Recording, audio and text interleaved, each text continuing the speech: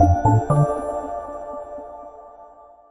Hey there friends, welcome back to AppSec School. I'm Louis from PentesterLab. Today we've got something really exciting to discuss. You know that feeling when a shiny new framework gets released and everyone in the engineering team can't wait to dive into it? Well, that's exactly what we're going to talk about. So grab a seat and let's get started. Another framework just got released and the developers in your engineering team are dying to use it. But wait, what's your next step? Let's break it down into easy steps to understand how to approach this situation. Step number one, understand the framework framework. First, before jumping into it, you need to understand what this framework is all about. What does it do? How does it work? Gathering this knowledge helps you make informed decisions. This is a good time to write a simple demo application, like a blog, to understand how routing works and basic architecture of a project. Step number two, evaluate security. Now, this is where things get interesting. You've got to evaluate the security aspect of the framework. How safe is it? Are there any known vulnerabilities? Remember, new doesn't always mean secure. You should also look at what security features exist and what security features are enabled by default. Is HTML escaping done automatically by default or do developers need to remember to opt in every time? Does the framework provide a data mapper or are developers going to write SQL by hand?